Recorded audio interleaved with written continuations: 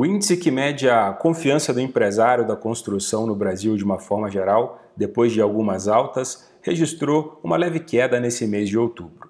Nesse vídeo a gente vai comentar um pouquinho a respeito disso, as razões prováveis para essa queda de confiança e o que, que isso pode ou não pode impactar de uma forma geral o nosso setor imobiliário. Acompanha comigo.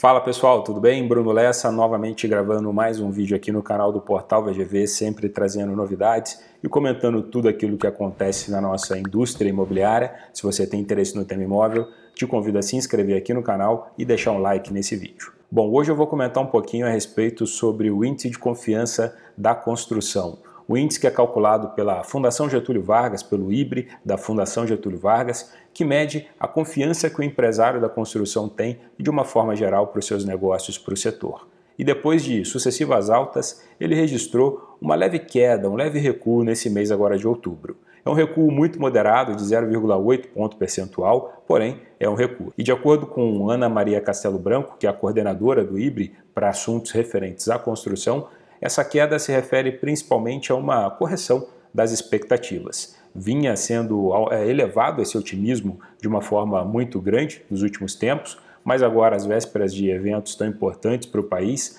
às vésperas de uma possível mudança, quem sabe, na nossa política de uma forma geral, tudo isso acaba corrigindo um pouco a expectativa do empresariado e faz com que as medidas, de uma forma geral, sejam tomadas com muito mais cautela e essa expectativa acabe sendo corrigida dentro dessa cautela. Mas é importante ressaltar que, mesmo diante dessa pequena queda em outubro, esse índice se mantém acima dos 100 pontos, em uma escala que vai de 0 a 200, esse índice se mantém acima dos 100 pontos. Isso quer dizer que nós ainda estamos com otimismo, um otimismo moderado, porém ainda estamos dentro da escala considerada otimismo por parte dos empresários da construção de uma forma geral.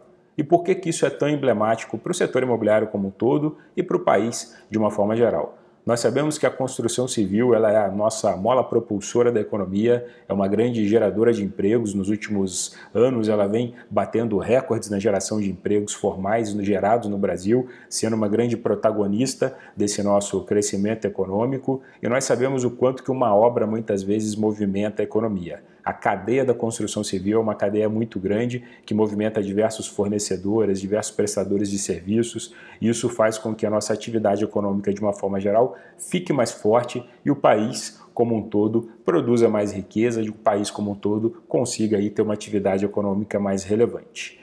E toda vez que o empresário da construção ele está mais confiante, nós vemos essa roda girar com muito mais vigor. E quando a gente não tem esse índice de confiança, muitas vezes isso acaba não acontecendo na mesma proporção, fazendo com que o país, de uma forma geral, ele acabe perdendo com isso. Portanto, é muito importante monitorar esse índice e, mais importante ainda, fazer com que ele fique acima dos 100 pontos para que o empresário se mantenha otimista, obviamente tendo todas as condições para ser otimista, que o país ofereça as condições para que ele seja otimista e a gente possa, de uma forma geral, continuar evoluindo como nação. E você, qual que é o seu índice de confiança com o Brasil de uma forma geral? Qual que é o seu índice de confiança com a construção, com o setor imobiliário de uma forma geral? Escreve aqui no comentário, fala para mim, deixa a sua opinião, fala qual que é a sua cidade, qual é o mercado que você atua e vamos novamente construir mais uma discussão conjunta para ampliar as nossas referências, especialmente nesse momento que nós estamos vivendo de transição. Esse foi o vídeo de hoje e eu finalizo ressaltando o convite para que você se inscreva no canal e continue acompanhando esses vídeos aqui na sequência. Um abraço!